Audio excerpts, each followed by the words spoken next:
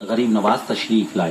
तारीख की एक बात आपके सामने और पेश करूँ कि गरीब नवाज़ अलह रहमत रिदवान जब तशरीफ़ लाए तो हिंदुस्तान का जो दारुल हुकूमत था वो अजमेर था और पृथ्वीराज चौहान की हुकूमत थी।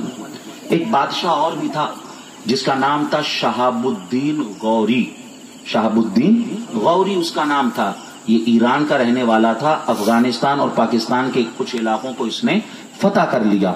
जब अपनी फौज को ये हिंदुस्तान लेकर आया और पृथ्वीराज चौहान की फौज और इसकी फौज में जब जंग हुई, फिर क्या हुआ? शहाबुद्दीन गौरी की फौज के पाँव उखड़ते हुए नज़र आए। इसकी फौज को शिकस्त हुई और इसकी फौज मैदान छोड़ती हुई नज़र आई और पृथ्वीराज चौहान को उस जंग के अंदर, उस मार्के के अंदर जीत हासिल हुई। अजीदान मोहतरम, जब इस मामले को देखा, जब इस जंग को देखा, जब इस मार्के को देखा, हमने रब की बारगाह में अर्ज़ किया ए परवरदिगार आलम, ये वो कौम है जिस कौम की माजी के अंदर बदरो, हुनैनो, खैबरो खंदक जैसी तारीख जिसकी रही है कि जिसने न कभी तीर पे भरोसा किया, जिसने न कभी तलवार पे भरोसा किया। आखिर शाहबुद्दीन गौरी की फौज हारती हुई क्यों नज़र आई? आखिर शाहबुद्दीन गौरी के फौज को शिकस्त क्यों हासिल हुई? आखिर शाहबुद्दीन गौरी के फौज के पाँव क्यों उखड़ते हुए नज़र आए? आखिर शाहबुद्दीन की गौरी की फौज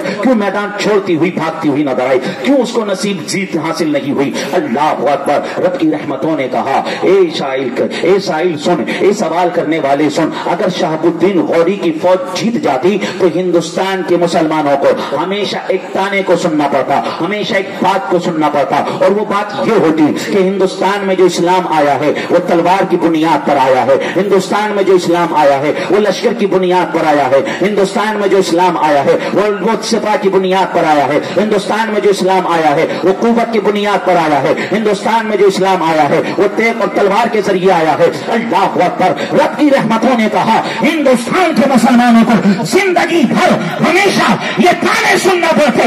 इसलिए लोगों, हिंदुस्तान में इस्लाम फैलेगा तो सही। शाहबुद्दीन गौरी के ज़रिए नहीं, मोइनुद्दीन अजमेरी के ज़रिए फैलेगा।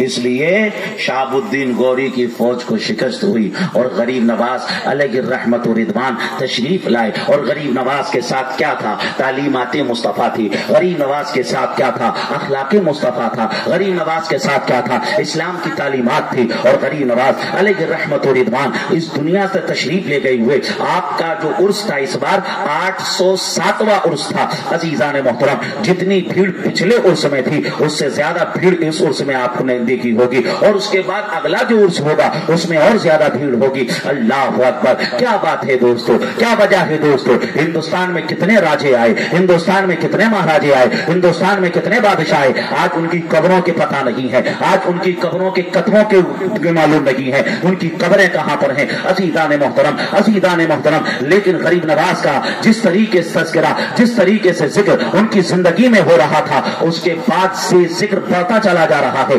बढ़ता चला जा रहा है। वजह क्या है? वजह क्या है? वजह यह है दोस्तों, रब की रहमतों ने कहा, जब तक ख्वाजा मोइनुद्दीन हसन, जब तक गरीब नवाज़ दुनिया में थे, उन्होंने हमारा ज़िक्र किया, अब हमारे पास आ गए हैं, अब हमने दुनिया की ड्यूटी लगा दी है, हम हमने दुनिया वालों की ड्यूटी लगा दी है। ए दुनिया वालों, ए दुनिया वालों, अब तुम्हें गरीब नवाज़ का तस्करा करना है, अब तुम्हें मोइनुद्दीन हसन का तस्करा करना है। अजीदा ने मोहतरम हिंदुस्तान के अंदर भी इलेक्शन होने वाला है, हिंदुस्तान के अंदर जो हुकूमत बनती है, वोट के ज़रिए बनती है। हिंदुस्तान के अंदर जो हुकूमत बनती है, वो सांसदों के ज़रिए बनती है।